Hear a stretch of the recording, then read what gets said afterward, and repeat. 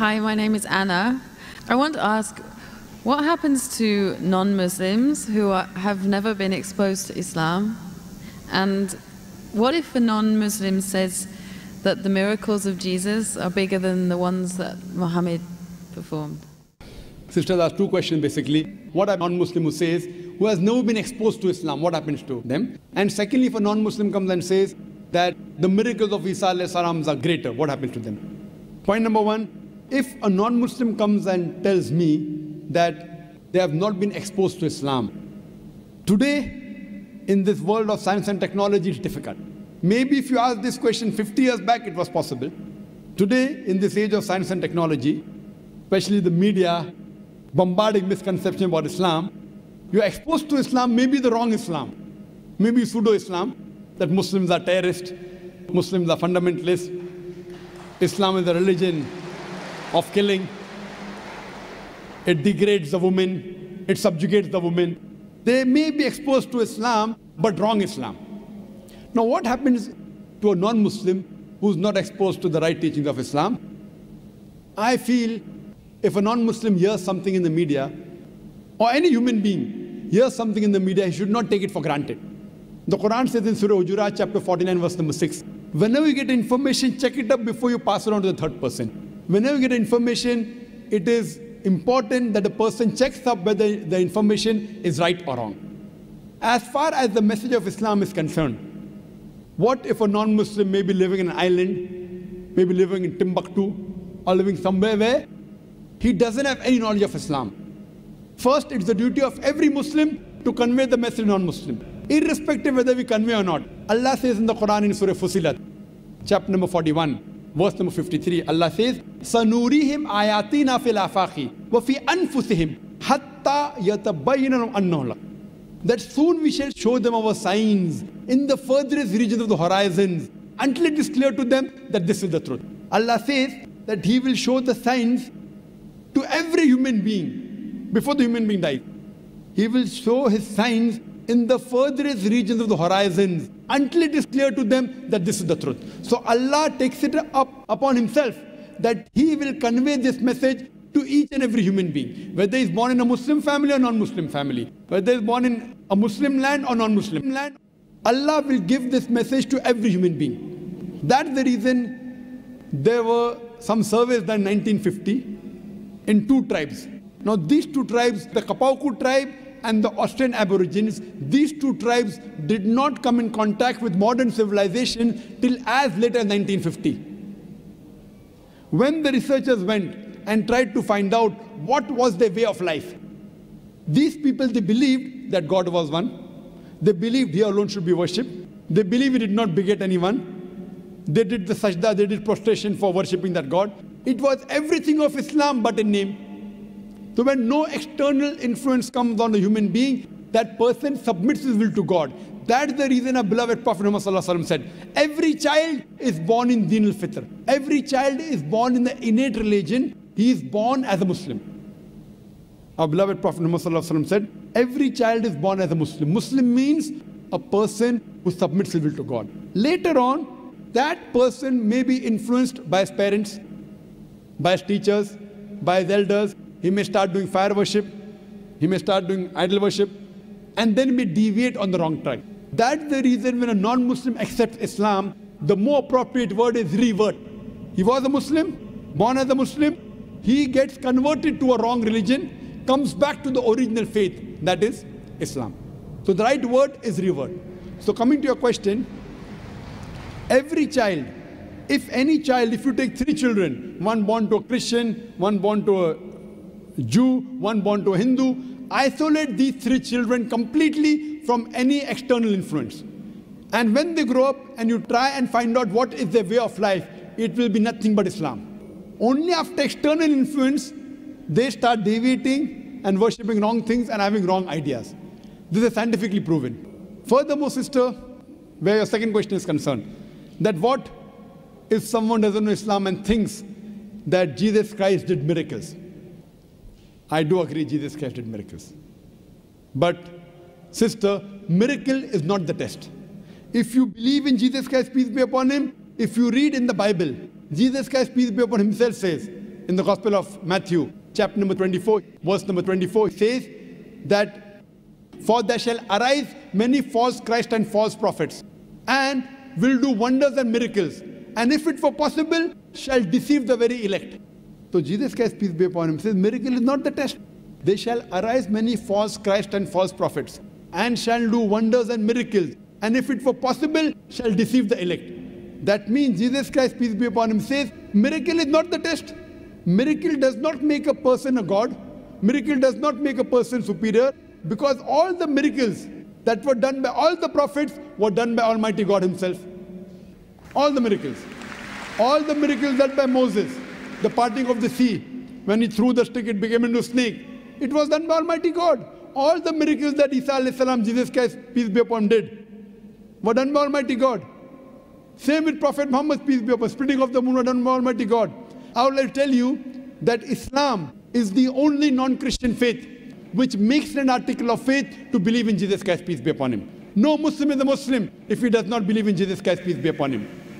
We believe that he was one of the mightiest messengers of Almighty God. We believe that he was the Messiah, translated Christ. We believe that he was born miraculously without any male intervention, which many modern day Christians today do not believe. We believe that he gave life to the dead with God's permission. We believe that he healed those born blind and lepers with God's permission. The Christian and the Muslims, we are going together. But one may ask, then where is the parting of ways? The parting of ways is that most of the Christians, they believe that Jesus Christ, peace be upon him, was Almighty God. They believe that Jesus Christ, peace be upon him, claimed divinity. In fact, if you read the Bible, there is not a single unequivocal statement in the complete Bible where Jesus Christ, peace be upon him, himself says that I am God or why says worship me.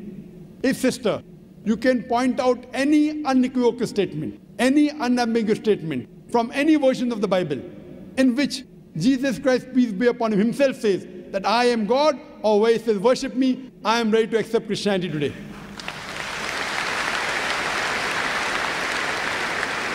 In fact, in fact, if you read the Bible, Jesus Christ, peace be upon him, said, it's mentioned in the Gospel of John, chapter number 14, verse number 28. Jesus Christ, peace be upon him, said, My Father is greater than I.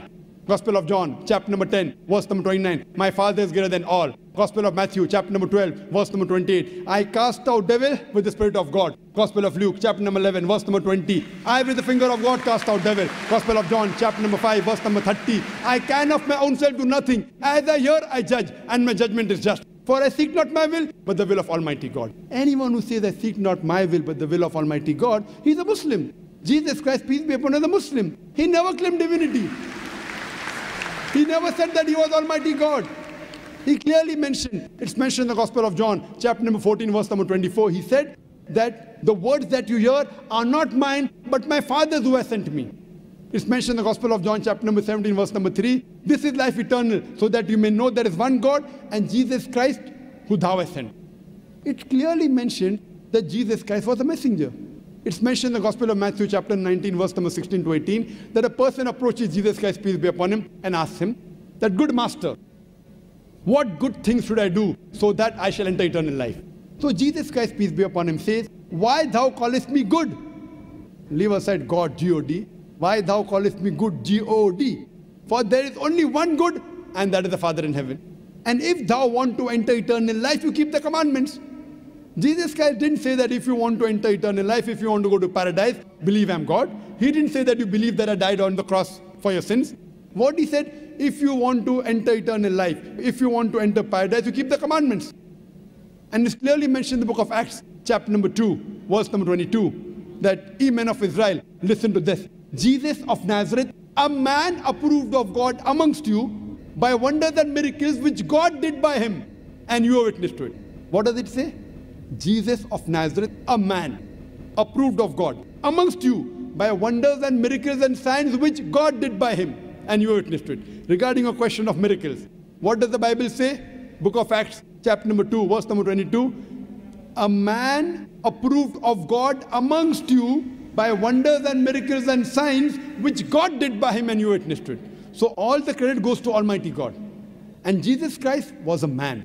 All the miracles were done were done through Almighty God, So all the miracles, all the messengers did were done by Almighty God. They came to testify there was one God. But Jesus Christ also said in the Gospel of John, chapter number 16, verse number 12 to 14, that I have many things to say unto you, but ye cannot bear them now. For he, when the Spirit of truth shall come, he shall guide you unto all truth. He shall not speak of himself. All that hear shall he speak. He shall glorify me. Now, this prophecy is prophesied no one but the last and final messenger, Prophet Muhammad, peace be upon him. So, if you're a true Christian, and if you believe in Jesus Christ, peace be upon him, Jesus Christ, peace be upon him, said, I have many things to say unto you, but ye cannot bear them now. For he, when the Spirit of truth shall come, he shall guide you unto all truth. He shall not speak of himself. All that hear shall he speak. He shall glorify me. This prophecy is prophesizing no one but the last and final messenger, Prophet Muhammad, peace be upon him. So if you're a true Christian, you should believe in the last and final messenger, Prophet Muhammad, peace be upon him. Hope that answers the question, sister.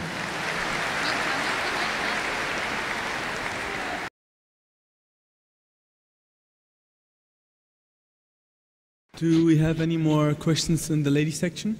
Assalamu alaikum. I just want to tell Dr. Zakir, I'm actually, I am a revert, and I was just asking questions on behalf of my non-Muslim family and friends, and I just wanted to say, you know, Subhanallah and La ilaha illallah.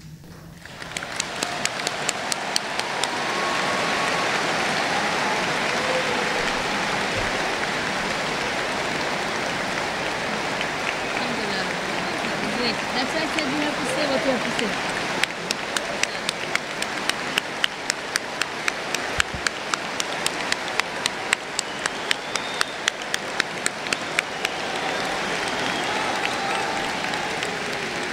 Welcome, welcome to religion of peace, sister. May Allah subhanahu wa ta'ala reward you and grant you Jannah. And we pray to Allah subhanahu wa ta'ala that, and may Allah subhanahu wa ta'ala guide you.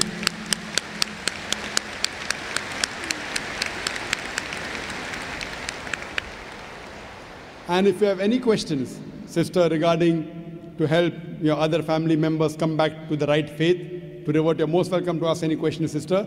And if you have any clarification, you're most welcome. There are many Dawa centers here in Dubai. There are many sisters organizations. You can contact them, inshallah, if you have any queries. And now, if you have any questions regarding to convince your other family members, you're most welcome to ask, sister.